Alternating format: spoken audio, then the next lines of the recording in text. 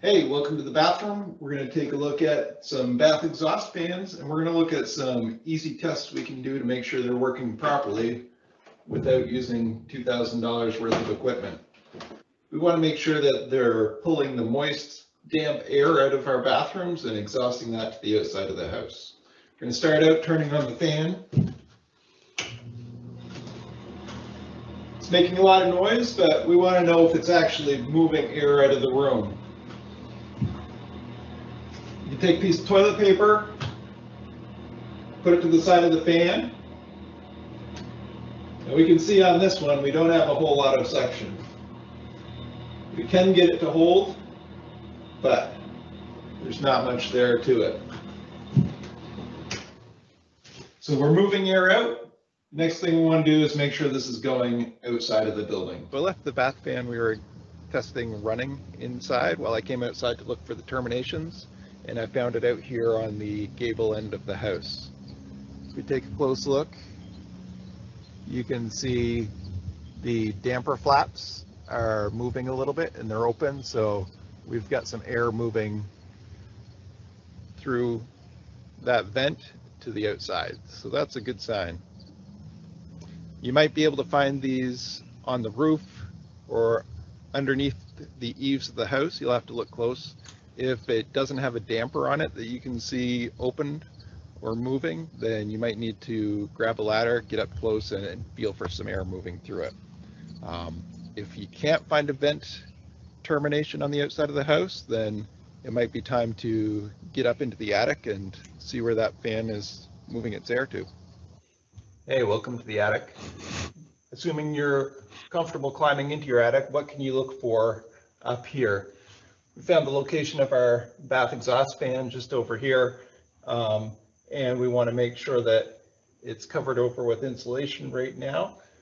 If the fan wasn't vented to the outside, there was no duct connected to it, what we'd want to look at is the roof deck over the location of that fan where you would have that warm, moist air blowing into the attic in the winter. What can happen is that moisture can condense on the underside of your roof. It can cause moisture damage, you can get mold buildup, and we really want to avoid that. So that's why it's important to get this vented to the outside. In our case, we do know that it's vented to the outside, but let's take a look at the venting for this fan. We can follow from the fan location over to here, and we can see our venting is a vinyl flex vent coming out from under the insulation, and it goes across the vented soffit of a porch, and we can see some sagging there.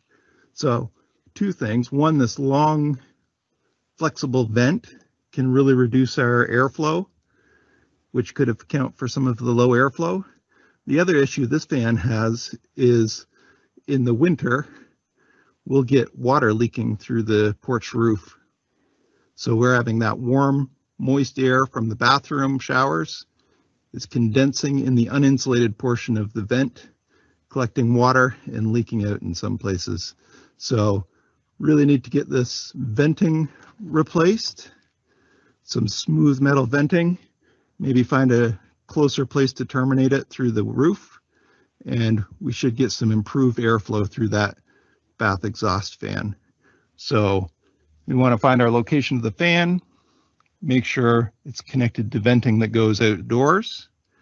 We want to make sure that all of our vent duct is insulated as well, either with a, a duct wrap or buried underneath our attic insulation so that we don't get that condensation building up inside. Back to the bathroom, what are some other signs you can look for that might indicate that your bath exhaust fan just isn't cutting it? If you're running your fan during a shower and letting it operate for another 15 to 20 minutes afterwards, and you're still getting excessive moisture buildup on your mirrors, that might not be a good sign. We also want to take a look at the ceiling and the walls around our shower enclosure. We want to make sure there's not any moisture staining, mildew buildup in there. Simple rule of thumb, you want to have about one CFM or one cubic foot per minute of air movement through your fan for every square foot of your bathroom. This one's about 80 square feet, so we want to have an 80 CFM fan. Most bath exhaust fans are going to have a label with their CFM rating inside the fan, which we can access by removing the cover.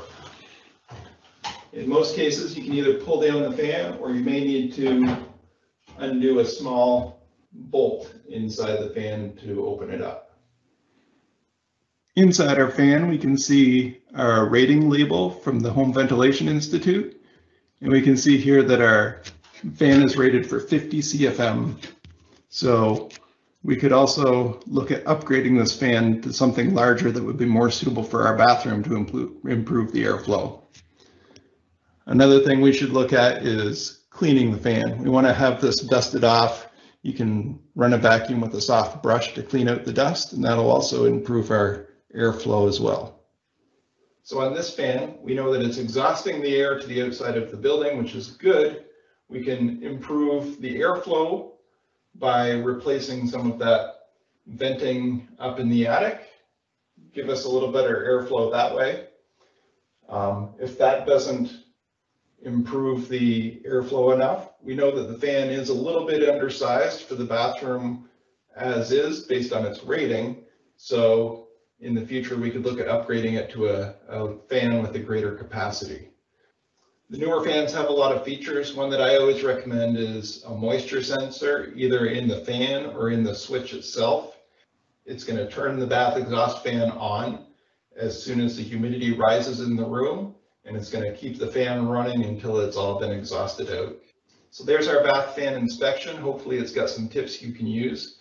The most important thing, of course, is once you know your bath fan is working and blowing that moist air